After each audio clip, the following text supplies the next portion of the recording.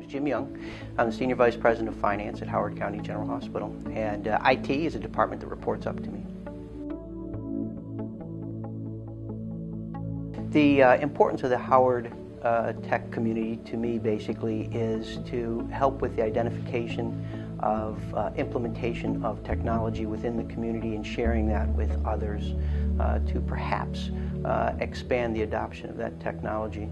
Uh, I think uh, Howard County has been very um, uh, out front uh, with a lot of their technology, and you know, as we look at uh, uh, creating um, a fiber-connected Maryland, and that being led by Howard County, it's really important and a great distinction for the county.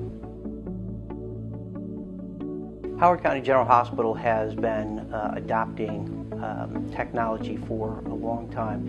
It was back in 1997 when we first began documenting electronically, and the nurses began uh, their uh, inpatient evaluations as well as documenting the care that they were providing. Three implementations the first is probably the electronic medication administration record and bedside medication verification.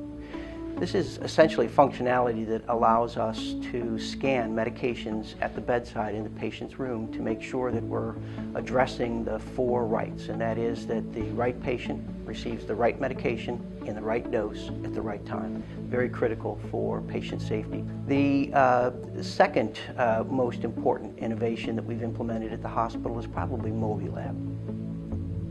MobiLab is functionality that allows us to scan a patient's barcoded uh, wristband in the hospital. Uh, and with a wireless scanner and a wireless printer, the nurses or the techs will actually print out labels at the bedside uh, next to the patient. And that has significantly reduced the number of errors that we had in terms of mislabeled uh, specimens. Uh, in fact, it's reduced the error rate to almost 0%. Perhaps the third most important uh, is uh, what we call affectionately POM, Provider Order Management.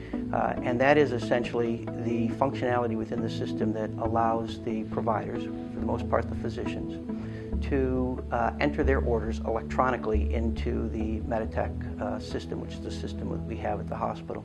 So those are probably the three most important uh, innovations and the hardware that's allowed us to really bring those to our patients' bedside.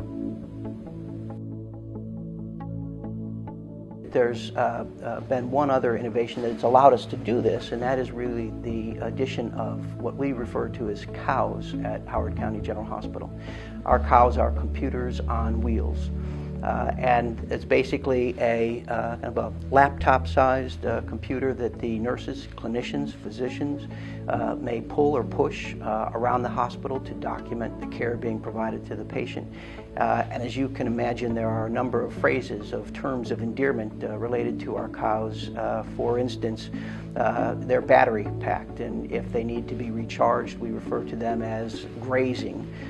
we refer to them in the aggregate as our herd, and you know if a cow breaks down and needs to be repaired by IT, uh, we also refer to that as uh, the cow being put out to pasture.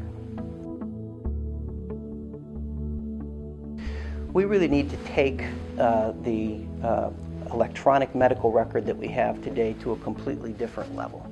We need to add scanning and archiving um, so that we have uh, basically a paperless environment within the hospital.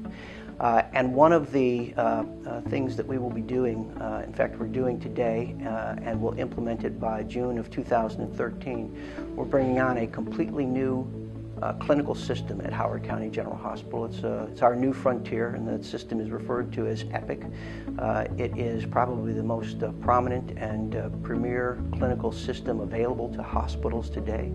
Uh, you know, we can really purchase a lot of information technology, whether it's hardware or software, but it really takes people in order to be able to develop the intuitive interfaces and the functionality for people to actually use. And then it takes champions within the hospital and adopters to actually bring that technology forward uh, to enhance our patient care, uh, whether it's patient safety or the quality of care that we're delivering to uh, patients in our community.